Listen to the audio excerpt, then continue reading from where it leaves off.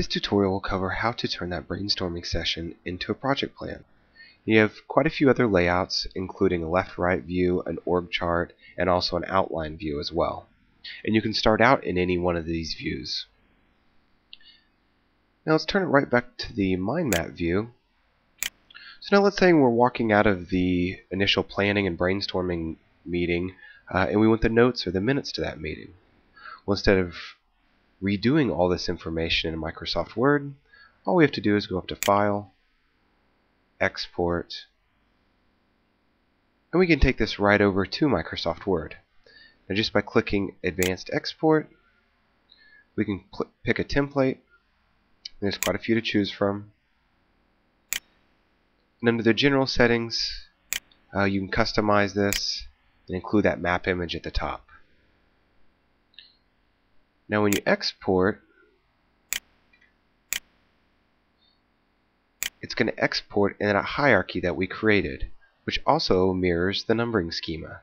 So planning will be the first chapter, then product related issues, then marketing, then sales. Now as you see that it's exported, we're obviously in Word. Here's that product launch. Here's that image. Now the nice part about this is it automatically generates an interactive table of contents for us. So as I click on planning, here's that budget file that we put in. Here's that picture of packaging. And then here are those notes that we put in the text note editor. And all the Office exports you see in MindView 3 Business are also imports. So if you make changes to this, you can always import it back in, and it's going to update a new mind map with those changes. Now let's proceed to turn this into an actual scheduler. So now that we've defined this scope, let's open up the task and time information. And what I have here is my project management rules enabled.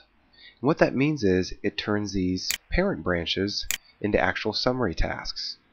It also changes that 7-day working week into a 5-day working week, which is user defined. So for instance, let's say this setup team over here on the right hand side, I think it's going to take about 8 days. You can adjust priority levels, adjust completion percentages, and you can also add resources which you can import in from any type of directory, uh, including Outlook. So you can do some of this basic scheduling while you're in the mind map view. Now the advantage of this is that not everybody likes a Gantt chart. So what you can do is we can show this information on the branch, either individually or as a whole. So now what you have is that setup team with all the project information uh, down below. And since these are summary tasks, planning is now 25% complete. Let me hide this. Now normally what happens is that we create this on a whiteboard or even sticky notes. We have to take all that information and recreate it into a scheduler, whatever type of scheduler or software we use. But instead of wasting all that time, all we have to do is right click and we can view this map as a Gantt chart.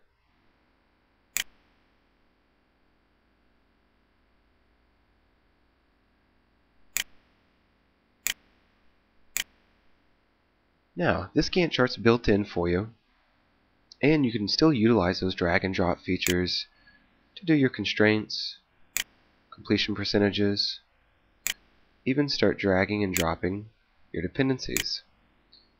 And of course, as you start dragging and dropping these dependencies, your critical path starts to become outlined in red. Now, you can either do the scheduling in the Gantt chart itself, or with our task information box, and this can be initialized in the mind map view as well. Any information you add or change in the Gantt chart will reflect in the mind map.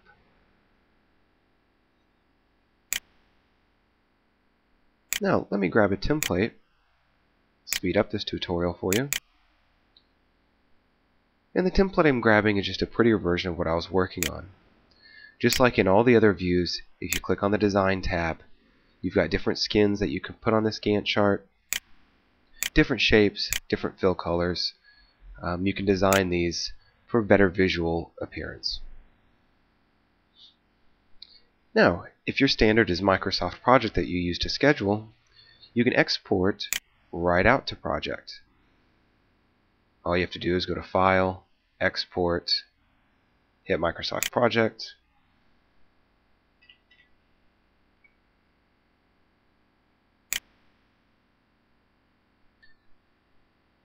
Now we're in Microsoft Project, and is the exact same thing that I was working on. And once again, it's a two-way street. So if you want to take a project file, Microsoft project file, and import into MindView, you can do that as well, display it as a Gantt chart, uh, display it as a work breakdown structure, export it out to Word. Um,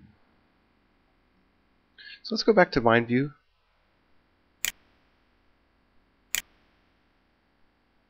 Now we're back in the MindView software. A lot of times what happens is your upper level management doesn't necessarily want to see everything in a Gantt chart. It's way too detailed. They'd rather see uh, just in a timeline or just see the milestones. And in that case, all we have to do is switch this entire project plan to a timeline. Now what you have here is everything that we just talked about spread over a horizontal axis. And once again on the Design tab, you can show these duration bars, or you can take them off. And you've got different layouts in Timeline as well. So all you have to do is just scroll over. In this first one, what it'll do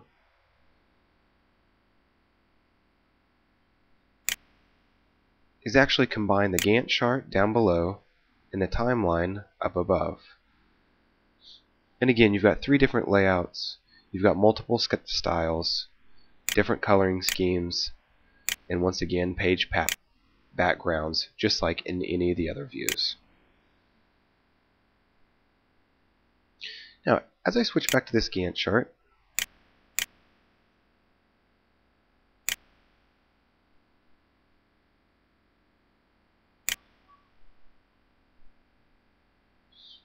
Within this Gantt chart, you also have project reports or even status reports.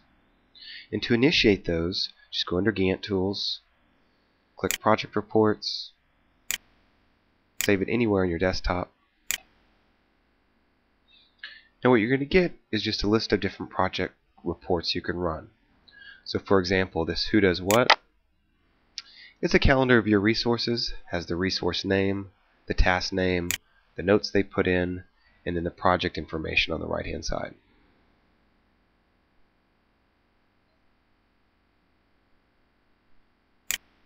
And finally, let's go back to that original project we were working on.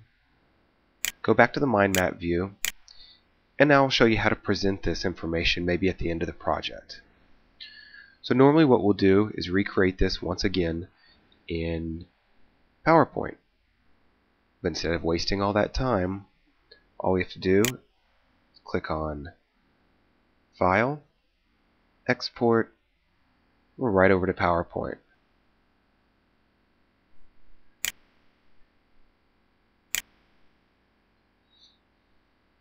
So now here's that PowerPoint presentation. So you've got that product launch, the four main work streams, planning with the task involved in planning, and of course any of the notes that we put in. Then if I scroll down, Here's that picture of packaging I put in. And just like any of the other exports, it's also an import. So if you make changes to this, go ahead and import it back into MindView, and it's going to update a new mind map with those changes.